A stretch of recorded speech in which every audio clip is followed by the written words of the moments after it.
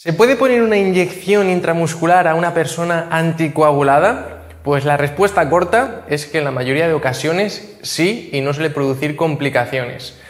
Pero eh, hay que tener en cuenta algunos detalles, ¿vale? Hay que salirse de esas respuestas de A, B, de sí, no, e intentar profundizar e individualizar, utilizar ese razonamiento crítico, ese pensamiento adaptativo para evitar complicaciones.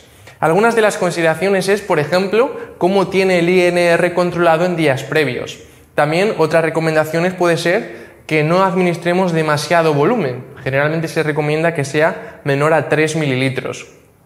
Normalmente también se suele eh, recomendar evitar la zona dorsoglútea y priorizar la zona del deltoides, el vasto lateral externo, la zona ventroglútea.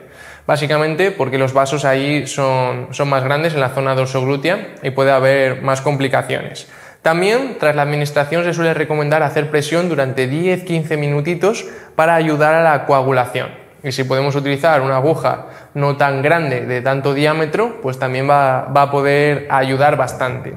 Si te gustaría resolver más dudas como estas, si se puede pinchar alguien antiagregado, si se puede pinchar sobre un tatuaje, si qué fármacos se pueden mezclar, etcétera, etcétera, eh, tenemos una formación acerca de esto que te puede resultar útil e interesante.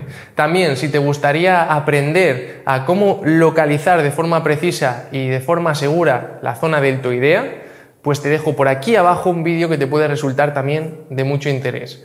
Nada más, con esto me despido. Cualquier duda déjamela por aquí abajo en comentarios nos vemos muy pronto. Un abrazo, hasta la próxima.